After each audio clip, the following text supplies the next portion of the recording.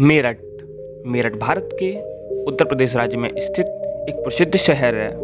Hello guys आज मैं आपको दिखाने वाला हूँ मेरठ की दस सबसे अच्छी जगह। और साथ में आपको ये भी बताऊँगा, आप मेरठ कैसे आ सकते हैं, आपका मेरठ में कुल कितना खर्चा होगा, और मेरठ में घूमने का बेस्ट टाइम क्या है। चलिए इस वीडियो को स्टार्ट करते हैं। तो सबसे पहले देख लेते हैं आप मेरठ कैसे आ सकते हैं।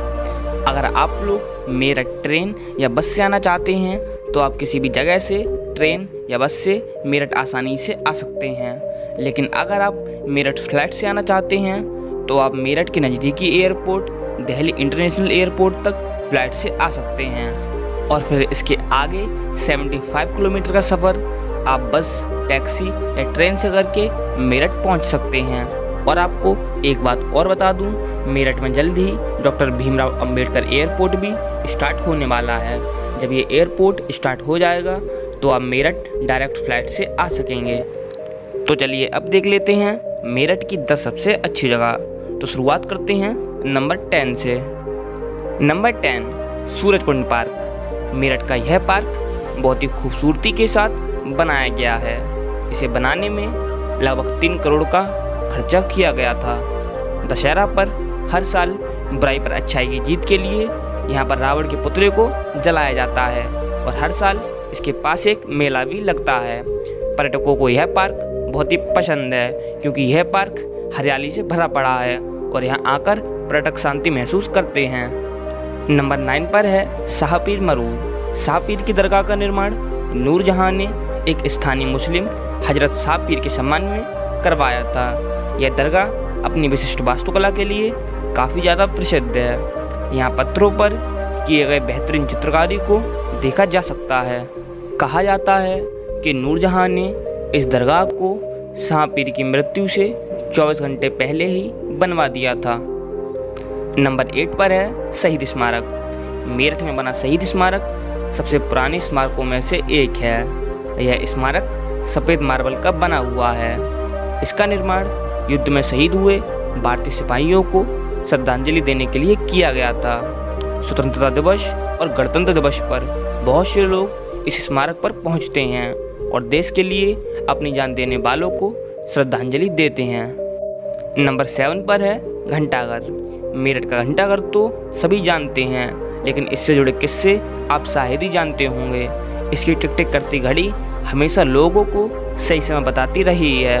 एक समय था जब पूरा शहर इस घड़ी की पेंडुलम की आवाज़ पर चलता और थम जाता था। इसकी खासियत यह थी कि यह हर घंटे बाद इसके पेंडुलम की आवाज़ 10 किलोमीटर तक जाती थी, जिससे लोगों को समय का पता चल जाता था। नंबर सिक्स पर है फैंटेसी वर्ल्ड वाटर पार्क। यह वाटर पार्क नेशनल हाईवे 58 के किनारे स्थित है। इस पार्क में बच्चों और वयस्कों के लिए बहुत से पानी के खेल भी हैं। इस पार्क में बच्चों के लिए झूले भी हैं और इस पार्क में कुछ स्वादिष्ट स्थानीय और चाइनीज़ खाना भी परोसा जाता है। यह पार्क पर्यटन की दृष्टि से मेरठ का सबसे अच्छा पार्क है। अगर आप लोगों ने अभी तक हमारे चैनल को सब्सक्राइब नहीं किया है तो हमारे चैनल को ज़रूर सब्सक्राइब करें। नंबर फाइव पर है दिगंबर जैन टेंपल यह मंदिर उत्तर प्रदेश के मेरठ में स्थित है, जो कि जैन धर्म के लोगों का मुख्य मंदिर है।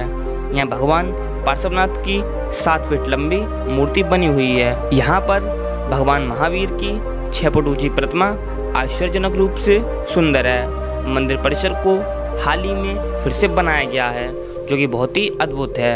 यह मंदिर पर्यटकों को बहुत ही ज़्यादा आकर्षित करता है। नंबर फोर पर है saint John church.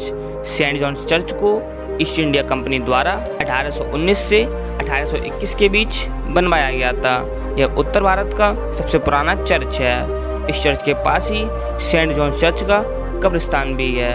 इस चर्च के चारों ओर बहुत सी हरियाली छाई हुई है। ऊँचे स्तंभ और विशिष्ट शैली इसे शहर में एक लोकप्रिय पर्यटन स्थल बनाती हैं। नंबर थ्री पर है हस्तिनापुर। हस्तिनापुर मेरठ ज़िले में स्थित एक नगर है। महाभारत के कौरवों और पांडवों का युद्ध इसी जगह के लिए लड़ा गया था। इस युद्ध में पांडव जीत गए थे और उन्होंने अगले 36 साल तक हस्तिनापुर पर राज किया था। महाभारत के अनुसार हस्तिनापुर कौरवों की राजधानी हुआ करती थी। आज यहाँ का राजमहल खंडर पड़ा है। हस्तिनापुर में बहुत से पर्यटक आते हैं। उन्हें यह जगह बहुत ही पसंद आती है। नंबर टू पर है गांधी बाग। गांधी बाग मेरठ के सबसे पुराने पार्कों में से एक है, जिसे ईस्ट इंडिया कंपनी के द्वारा स्थापित किया गया था। इसमें हर शाम म्यूजिकल फाउंटेन शो लगता है। इस पार्क में आप क्रिकेट खेल सकते हैं और परिवार के साथ पिकनिक मनाने भी आ सकते हैं। इसमें आम सहतूत और बाँस के पेड़ों के साथ साथ हरियाली छाई हुई है। इस पार्क का दृश्य बहुत ही मनमोहक है। और अब नंबर वन पर है ओगरनाथ टेंपल ओगरनाथ मंदिर उत्तर प्रदेश राज्य के मेरठ में स्थित है। यह एक प्राचीन शिव मंदिर है।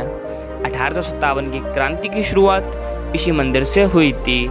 यहीं पर भारतीय पलटनों के अधिकारी अपनी गुप्त बैठक किया करते थे। यह मंदिर एक प्राचीन सिद्धपीठ है। तो चलिए अब देख लेते हैं मेरठ में घूमने का बेस्ट टाइम क्या है। मेरठ में घूमने का बेस्ट टाइम नवंबर से फरवरी तक का है। इस टाइम आप यहाँ पर गर्मी से बचकर सभी जगहों को अच्छे से घूम सकते हैं। तो चलिए अब देख लेते हैं आपका मेरठ में कुल कितना खर्चा हो जाएगा।